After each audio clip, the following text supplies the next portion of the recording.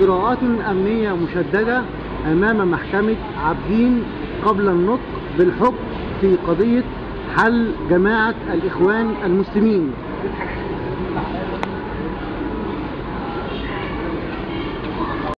أنا حسين عبدين موظف من موظفين الدولة سابقا.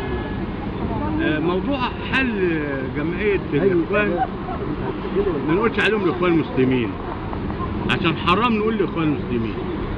لا حلها أصلا هي ملهاش أصول للنشأة.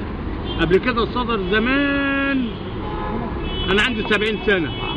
أنا عندي 70 سنة. زمان صدر آه، ليهم آه، حكم إن دول تتلغي الجمعية دي.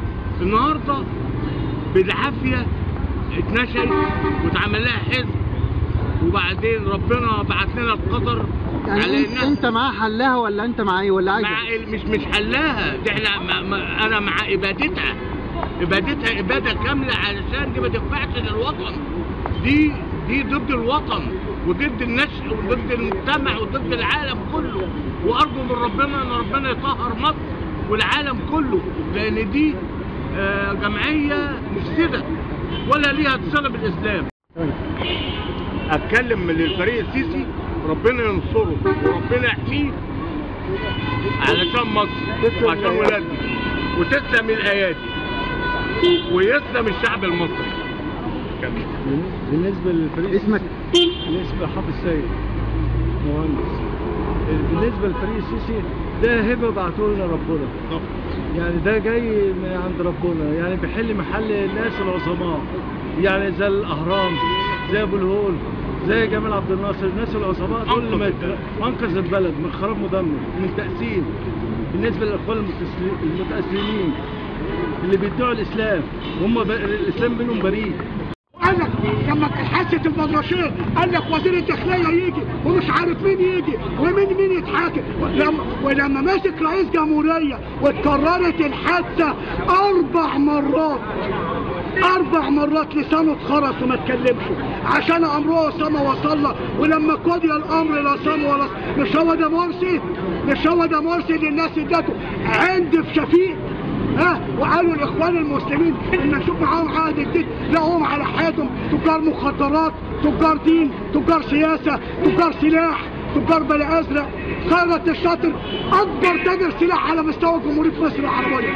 أكبر تاجر سلاح. داخليا وخارجيا واكبر تاجر مخدرات من الاراضي المحتله واشتغل مع حركة حماس. انت شكلك تبع لا وماله شبيه شبيه. وماله وماله مش أحسن من العالم الوسخه اللي تجارتهم كلها مخدرات وسلاح وبلاوي زرقاء تجارتهم كلها سلاح وبلاوي زرقاء تقول لي حرية وعداله إيه حرية وايه عداله؟ فين الحريه؟ عداله مع المرشد العام مع محمد بديع. مع محمد بديع خريج السجون. مع محمد بديع خريج السجون. ساميا أي أو تيار أو جماعة حتى هذه اللحظة. ولكنني آه، آه، محامي ضد الانقلاب ومحامي ضد عسكرة الدولة. وبالتالي إذا سألتني من الناحيه القانونية فقط فهذه الدعوة المفروض أنها لا ترفع ابدا أمام محكمة الأمور المستعجله لأنها آه، قضية تتعلق بجمعيه اهليه والقانون حدد على سبيل الحصر الطريق الذي يرجع إليه وهو مجلس الدولة. مجلس الدولة هو المختص قانونا بنظر مصالح القضايا أما لو سالتني عن وجهة النظر الاخرى لماذا تم اللجوء إلى قاضي الأمور المستعجلة فهو محاوله إعطاء غطاء قانوني للقرار السياسي السيادي الصادر من المؤسسه العسكريه بحل الجمعية. تمام؟ آه، حتى لا يقال بأن الحكم القرار صدر مسيسا. لا ده هو في غطاء قانوني هو. أنا بقول لهم فشلتم وفشل مسعاكم لأن الغطاء القانوني يجب أن يصدر من محكمة موضوع مختصة وهي محكمة مجلس الدولة لأن قاضي الأمور المستعجلة لا ينظر إلى واقع إلى موضوع الدعوة ولا إلى موضوع الم- المستند ولكن ينظر إلى ظاهر الأوراق فقط.